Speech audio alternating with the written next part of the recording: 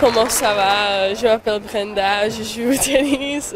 Um, I think like my biggest strength is um, my mental mental side. So uh, even though it was really hard um, the first match and with the cold now, um, yeah, I'm very happy that I managed and uh, it was really uh, about me this match. I was just like um, keeping my head up, trying to, you know, and hyping myself up because uh, I didn't feel really well today and it was really important for me to have this uh, mental strength today, especially. I think uh, qualifying again to the main draw on Grand Slam, it feels special, and uh, I'm just very happy for it. And uh, definitely, I will remember this one.